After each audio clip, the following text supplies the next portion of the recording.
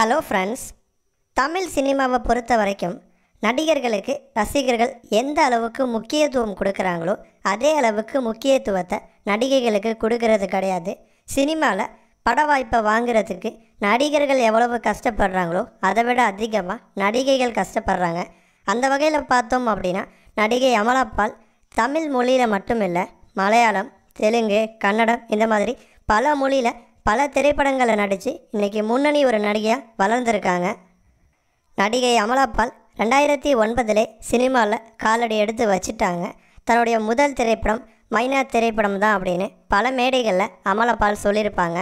நிறையா திரைப்படங்களில் அமலாபால் நடிச்சிருந்தாலும் இன்றைக்கி வரைக்கும் அமலாபால் அப்படின்னு சொன்னால் எல்லாருக்கும் ஞாபகத்துக்கு வரக்கூடிய ஒரு திரைப்படம் தான் மைனா.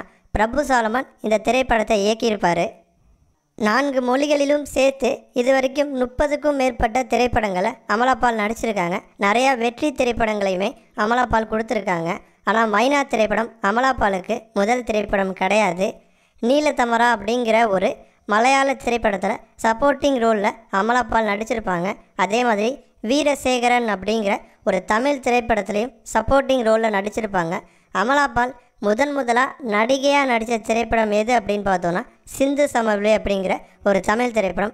இந்த திரைப்படத்தில் பார்த்தோம் அப்படின்னா மாமனார் மற்றும் மருமகள் ரெண்டு பேருக்கும் இடையே நடக்கக்கூடிய தகாத உறவை பற்றி தான் இந்த திரைப்படத்தில் சொல்லியிருப்பாங்க. நடிகையை பொறுத்த வரைக்கும் ஆரம்பத்தில் சினிமாக்குள்ள நுழையும் பொழுது கிடைச்ச வாய்ப்பை பயன்படுத்தி அதில் வெற்றி அடையணும் அப்படின்னு தான் பார்ப்பாங்க. அந்த வகையில் தான் அமலப்பால் இந்த மாதிரி ஒரு திரைப்படத்தில் நடிக்கிறதுக்காக சம்மதிச்சு இந்த திரைப்படத்துலையும் நடிச்சிருப்பாங்க. இதனால் என்னவோ தெரியலை. இந்த திரைப்படத்தை பற்றி அமலாபால் பல மேடைகளில் பேசுனது கிடையாது. தன்னுடைய முதல் திரைப்படம் மைனா தான் அப்படின்னு சொல்லி தான் பேசுவாங்க. இந்த வீடியோ உங்களுக்கு பிடிச்சிருந்துச்சு அப்படின்னா லைக் பண்ணுங்கள் ஷேர் பண்ணுங்கள் மறக்காமல் தமிழ் ஸ்பைசி சேனலை சப்ஸ்கிரைப் பண்ணுங்கள்